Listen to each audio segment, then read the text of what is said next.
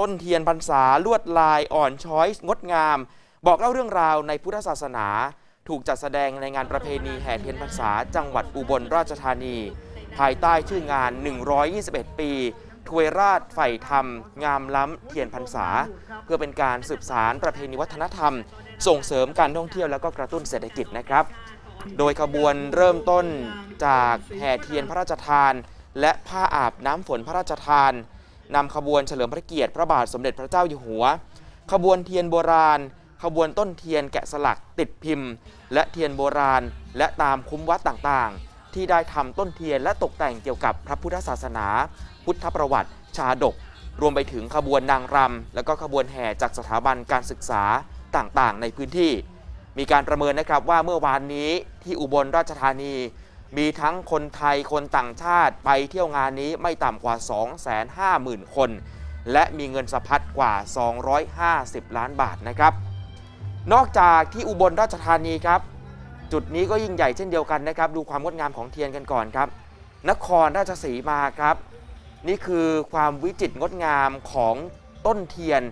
ที่ช่างได้บรรจงประดิษฐ์ตกแต่ง และแกะสลักและติดแบบพิมพ์อย่างงดงาม ขบวนต้นเทียนพรรษาที่ส่งเข้าประกวด ก็จะเน้นการบอกเล่าเรื่องราว เกี่ยวกับพุทธศาสนา พุทธประวัติคำสอนขององค์สมเด็จพระสัมมาสัมพุทธเจ้า และการเทิดพระเกียรติครับ ส่วนขบวนแห่จากคุ้มวัดแล้วก็ตามชุมชนต่างๆ จะเน้นการแสดงศิลปะวัฒนธรรมพื้นบ้าน วิถีชีวิต ปรัชญาเศรษฐกิจพอเพียง การสะท้อนปัญหาของสังคมไทย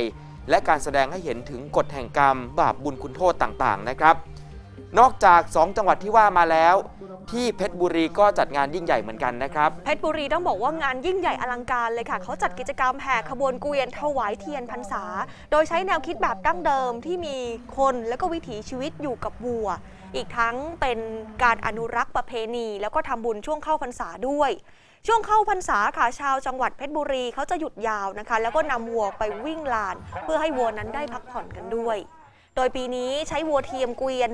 125 เล่ม มาตกแต่งด้วยดอกไม้ ผ้าสีผูกที่เกวียน แล้วก็แต่งตัวให้กับวัวด้วย เพื่อเป็นการสร้างสีสันนะคะ แล้วก็เขาบอกว่ามันจะสวยงามค่ะ ก่อนนำมาจัดเป็นขบวนแห่เทียนจำพรรษา แล้วก็ผ้าป่า ไปยังวัดเขาปากช่องตำบลท่าแรงอำเภอท่ายางจังหวัดเพชรบุรี